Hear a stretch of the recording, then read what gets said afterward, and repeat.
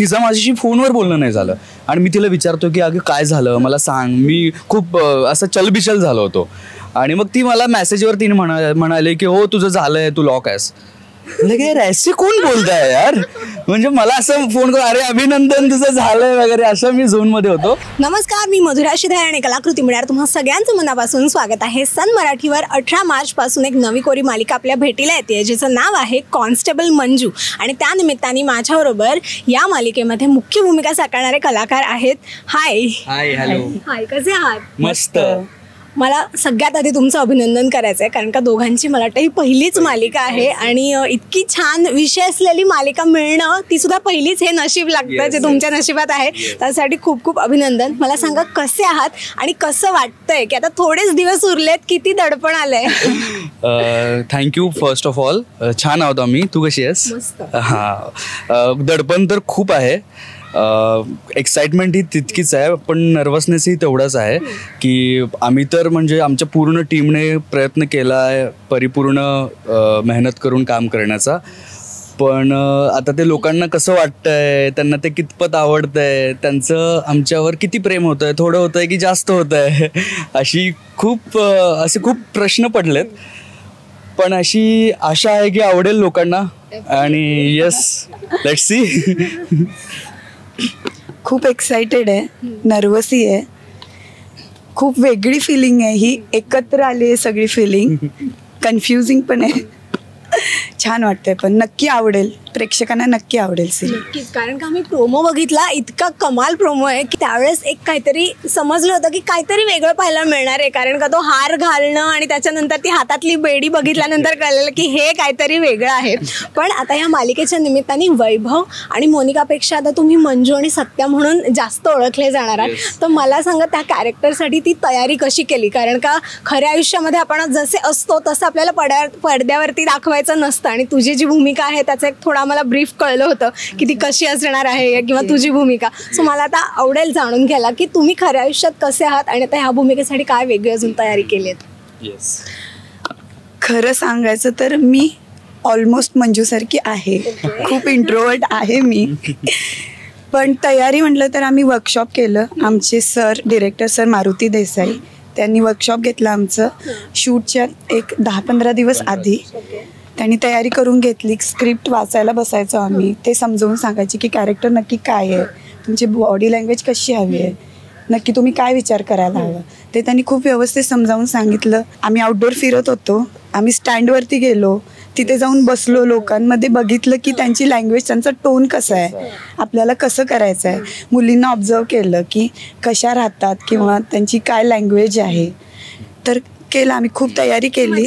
मजा? खूप मजा आली आहे करताना. मी मुलींना ऑब्झर्व नाही केलं मी मुलांना ऑब्झर्व केलं. मुलींना केलंय मी बघितलंय. अ, तर मी सत्या जसा आहे तसा मी नाही आहे खरं तर. म्हणजे मी खूप इंट्रोवर्ट आहे आणि मी खूप कमी बोलणारा किंवा शांत राहणारा असा आहे. पण सत्या खूप बिंदास्त आहे आणि तो रांगडा आहे. तर तो थोडासा माझ्यासाठी टफ पार्ट होता. तिथंपर्यंत पोहोचणं आणि तेवढं एक्सप्रेस करणं स्वतःला. पण आमची टीम आमचे डिरेक्टर मारुती देसाई सर आणि आमची डिरेक्शन टीम असेल सुजितदा असेल वगैरे सगळ्यांनी आम्हाला मदत केली. आम्ही चर्चा केली आम्ही सीन्स करून बघितले की काय वर्कआउट होतंय काय नाही होत आहे ही म्हणाली तसं आम्ही सातारी भाषेवर पण काम केलं की तिथला लहजा कसा आहे आणि तिथलं लोकांचं राहणीमान कसं आहे. तर सातारकरांचं मुळात असं आहे ना की ते मनाने खूप हळवे असतात. पण त्यांचा आविर्भाव जो असतो बाहेरून वागण्याचा तो खूप माजुरडा वाटतो आपल्याला. पण ते तसे नसतात खरं तर. हा फणसासारखे असतात. वरून काटेरी असतात आणि आतून असे बुलबुलीत असतात. तसे ते असतात. तर सत्याही तसाच आहे. सत्या खूप हळवा आहे. लोकांवर प्रेम करणार आहे. अन्याय होऊ नये असं त्याला वाटतं. त्याला जेवढं एखाद्या गरीब माणसांसाठी सामान्य माणसांसाठी न्याय मिळवून देण्याची जेवढी तो जेवढे प्रयत्न तो करू शकतोय तेवढे तो करेल असं सत्य आहे. आणि बाहेरून त्याचा आविर्भाव असा माजुरडा किंवा तसा आहे पण तो ॲक्च्युली खूप हळवा आहे. आणि मुळात तो हिरो आहे. म्हणजे त्याच्यात खूप एक स्टाईल आहे. ती माझ्या ती आहे. त्यामुळं तो पार्ट सेम आहे. पण तो जो ब्रिज होता की तो सत्याचा बिंदास्तपणा असेल किंवा त्याचा तो एक्स्ट्रोवर्टनेस जो आहे तो करायला मला थोडंसं डिफिकल्ट गेलं होतं पण थँकफुली आमच्या टीमनं आमच्याकडून ते करून घेतलं. आणि आता मी करतोय आता कसं वाटतंय ते लोक तुम्ही प्लीज सांगा आम्हाला कसं वाटतंय. डेफिनेटली मला वाटतं आपण सहा महिन्यांनी भेटूयात मग आपल्याला ते कळेल की आता. तुझ्यामध्ये अजून किती चेंजेस झालेत. पण मला सांगा की आता मी तुम्हाला ज्यावेळेस प्रोमोमध्ये बघितलं तर त्यावेळेस माझ्यासाठी तुम्ही नवीन होतात. तसेच मला वाटतं पहिली मालिका असल्यामुळे प्रेक्षकांसाठी तुम्ही तितकेच नवीन असाल. तर त्यांच्या मनातला एक प्रश्न मी तुम्हाला विचारते की तुम्ही याआधी तुम्ही काय काय केलं किंवा तुम्ही तुम्हाला ही पहिली मालिका कशी मिळाली? किंवा मुख्य भूमिकेसाठी तुमची निवड कशी झाली? तुम्ही आधी काय केलं किंवा तुमचं काय म्हणतात एक बॅकग्राऊंड मला. तुमच्याबद्दल एक ऐकायचं आहे येस मी याआधी वेब सिरीजमध्ये काम केलं आहे वस्तुरहस्य नाव आहे तिचं. ओके. आणि असं स्ट्रगल चालूच होता की ऑडिशन द्यायचं आहे द्यायचं आहे मग पूजाचा फोन आला मला. ती तिनं सांगितलं की ऑडिशन पाठव. मी घरून पाठवलं ऑडिशन एक करून. मग ती बोली की येऊ शकतेस का तू मुंबईला? मी आले या स्टुडिओला आले ठाण्याच्या? मी मिरज सांगली. सांगलीची आहे. तर मी आले दुसऱ्या दिवशी मुंबईला. ऑन कॅमेरा एक ऑडिशन झालं. गेले घरी की दोन दिवसात फोन आला की झालं तुझं सिलेक्शन. आणि तू ये. किती छान.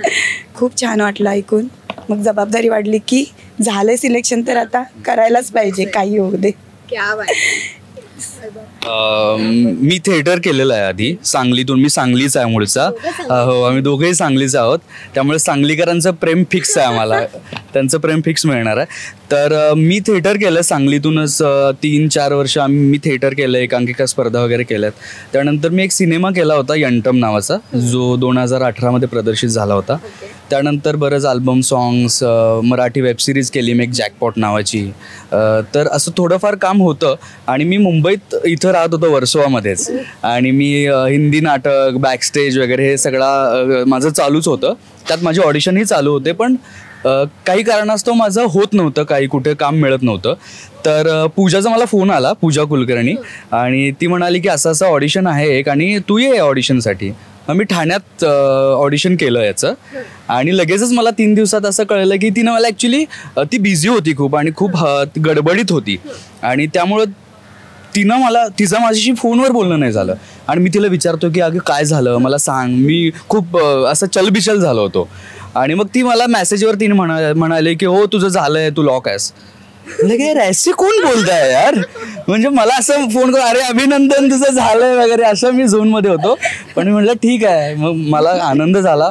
आणि मग आम्ही साताऱ्यात गेलो आणि मग पुढची प्रोसेस सुरू झाली. क्या बात आहे किती छान आहे पण घरी जेव्हा सांगितलं तेव्हा एक घरच्यांची काय रिॲक्शन होती? मला सांगा आधी घरी ही गोष्ट तुम्ही सांगितली होती का? का डायरेक्ट प्रोमो आल्यानंतर ते एक सरप्राईज ठेवलेलं त्यांच्यासाठी?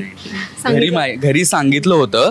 घरी जेव्हा मी बाबांना आधी सांगितलं तर त्यांचं असं म्हणणं होतं की काहीतरी होतंय तुझ्याकडून. म्हणजे थोडंसं थोडंफार काहीतररी तुला जमलंय आयुष्यात असं वगैरे. आई वगैरे माझ्या खूप खुश होते की त्यांचं झालं की अरे माझा मुलगा टी व्हीवर येणार. कारण आमच्या म्हणजे मी जिकडे राहतो तिथे सगळे खूप मालिकाचं खूप वेळ आहे मालिकांचं आणि सांगलीमध्ये खूप वेड आहे मालिकांचं बघतात वगैरे. तर माझ्या आईचं झालं की माझा मुलगा टी व्हीवर येणार आणि मला रोज दिसणार तो वगैरे. कारण मी ऑलरेडी मुंबईत होतो तर मी खूप कमी जाणं व्हायचं. तर तर तिचं असं म्हणणं होतं की किमान तू टी व्हीवर तर रोज भेटशील. It's it's sweet and yes मी जेव्हा सांगितलं घरी मम्मीला विश्वासच नाही बसला. नाही नाही तू एकदा जाऊन ये मुंबईला बघ काय म्हणतात जाऊन ये. मी म्हणलं अगं कॉल आलाय म्हणजे आहे. तर नाही पहिल्यांदा पायापड देवाला पायापड जाऊन ये जाऊन ये. गेले सांगितलं फोन करून झालंय. तर कधी येणार आहे कधी येणार आहे. ही न्यूज नाही कळेल तोपर्यंत कधी येणार टी व्हीवर म्हणलं "आ, येणार सांगणार सांगणार. जेव्हा प्रोमो एकदम आउट झाला. तिचा रडत फोन आला मला की तिला मिळाली शाश्वती की दिसली बाई पोरगी टीव्हीवर आहे. रडायला लागली. मी पण थोडी रडले. छान वाटतं पण. खूप छान. किती गोड आहे पण हे सगळं. आणि आय एम डॅम शुअर की या मालिकेला खूप भरभरून प्रेम प्रेक्षकांचं मिळणार आणि फक्त सांगली सातारा त्या बाजूनही महाराष्ट्रभरातून तुम्हाला प्रेम मिळणार आहे नक्कीच. इतकी गोड तुमची गोष्ट आहे मालिकेची आणि तुमचा हा बॉन्ड मला आत्ता कळलं. मी आल्यापासून बघते म्हटलं यांचं बॉन्ड इतका छान आहे. तर मला आता कळलं तुम्ही दोघं सांगलीच आहात ते एक मेन आहे तुमच्यात कॉमन गोष्ट. सो येस डेफिनेटली तो बॉन्ड बॉन्ड आम्हाला ऑनस्क्रीन पण पाहायला मिळणार आहे. जाता जाता तुमच्याकडून एक काय छोटंसं अपील करायला आवडेल सगळ्यांना. नमस्कार मी मंजू आणि हा सत्या. आम्ही येतोय अठरा मार्चपासून रोज रात्री आठ वाजता सन मराठीवरती. या वाघमारे मॅडमचा आवाज बसलाय माझ्यावर ओरडून ओरडून. मी सत्या सत्यजित सुर्वे. मी सातारचा आहे. आणि लवकरच भेटू अठरा मार्चपासून सोमवार ते शनिवार रोज रात्री आठ वाजता. फक्त आपल्या सन मराठीवर. काय आवाज रे? म्हणजे काय मॉड्युलेट केलाय? Yes thank you thank you so much and wish all the best thank you Rasika हो कलाकृती मीडिया म्हणजे मनोरंजनाची लयलूट. मनोरंजन क्षेत्रातील किस्से व घडामोडींचा आस्वाद घेण्यासाठी कलाकृती मीडिया या यूट्यूब चॅनलला सबस्क्राईब करा आणि व्हिडिओ लाईक करा.